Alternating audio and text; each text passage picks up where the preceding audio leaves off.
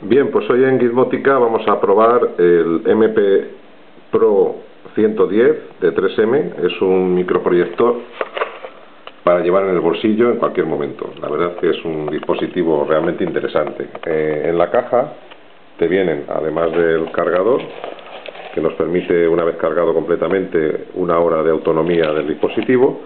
Tenemos un cable VGA para conectar a dispositivos como cámaras digitales, etcétera también con un adaptador por si las entradas de nuestro dispositivo, iPod, etcétera, fuera del mismo tipo por ambos lados.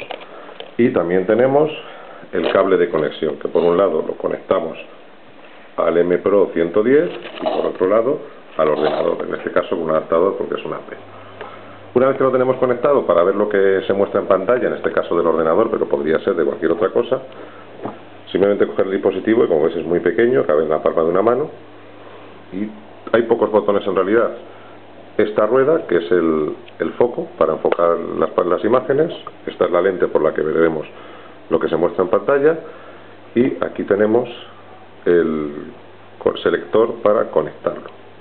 Simplemente lo encendemos, se enciende una luz verde aquí, se va encendiendo el dispositivo y dependiendo eso sí de las condiciones de luz, etcétera, se mostrará mejor o peor una vez que salta la pantalla. Como veis aquí pues una carpeta nos sirve perfectamente el uso y podemos ajustarle un poco el enfoque para que se vea mejor.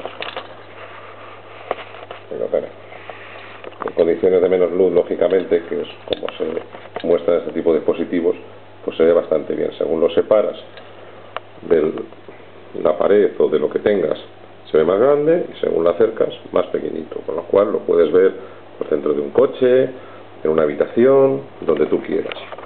En definitiva, es un, el M Pro este 110 es un dispositivo realmente interesante, muy pequeño, para hacer presentaciones al vuelo, ante un cliente, cualquier cosa que tengas que, que mostrar.